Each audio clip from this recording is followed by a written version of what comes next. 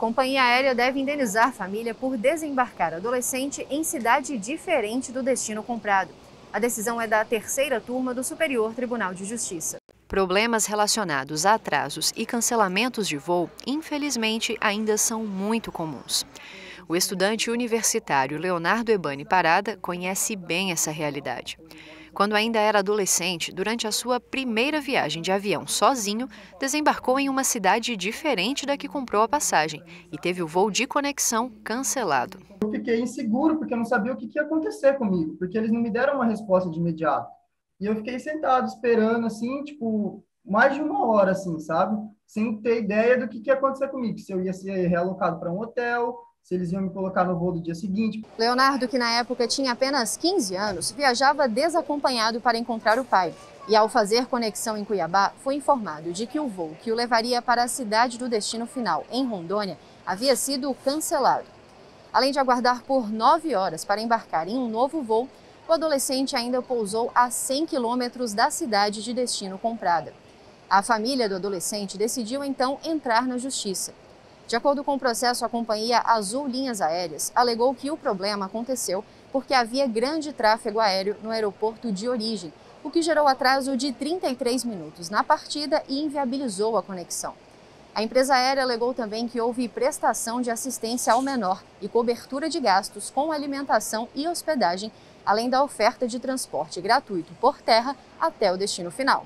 Os advogados do caso explicam quais foram os principais argumentos para considerar a prestação de serviço falha e embasar o pedido de indenização. O cliente optou por ingressar com a ação porque entendeu que essa situação realmente é, foi superior a um mero aborrecimento, foi uma situação que realmente atingiu de forma grave a questão moral e também é, patrimonial dos envolvidos.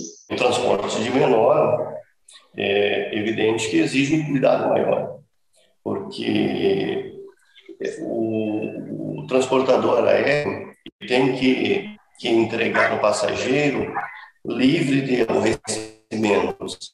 Então, e se tratando de menor, é, a responsabilidade dele aumenta, já que é, é um passageiro em condição vulnerável.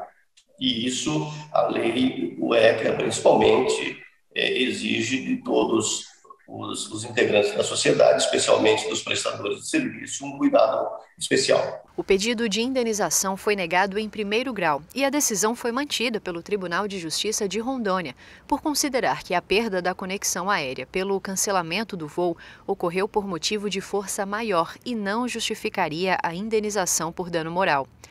No Superior Tribunal de Justiça, o relator do recurso especial, ministro Paulo de Tarso Sanseverino, destacou que o descumprimento do contrato de transporte aéreo não se caracterizou apenas pelo atraso de 33 minutos, mas por uma longa espera e pela aflição causada ao menor e aos seus responsáveis.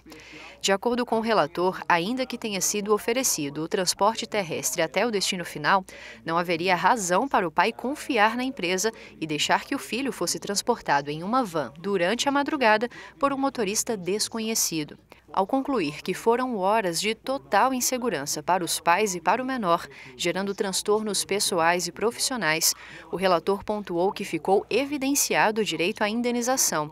Além de 10 mil reais por danos morais, a terceira turma condenou a Azul a indenizar o pai do adolescente pelos custos do deslocamento até a outra cidade.